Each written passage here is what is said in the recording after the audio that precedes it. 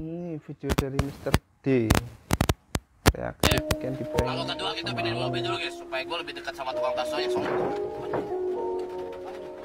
oh Nah, pohonnya. Gila kan? ini pohon ya bisa, mobil guys. Nah,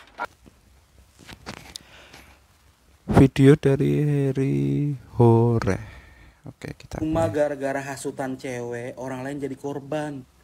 Nabi Adam dulu diusir dari surga gara-gara cewek loh. Jangan cuma gara-gara Dulu cewek cuma orang satu. lain jadi Sekarang mah cewek banyak.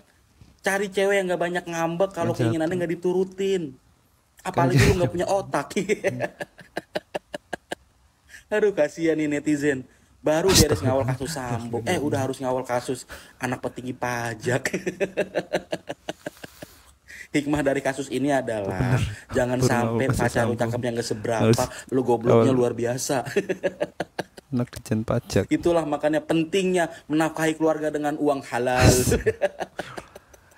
oh Jangan keren cuma- keren ini abang ini ya itulah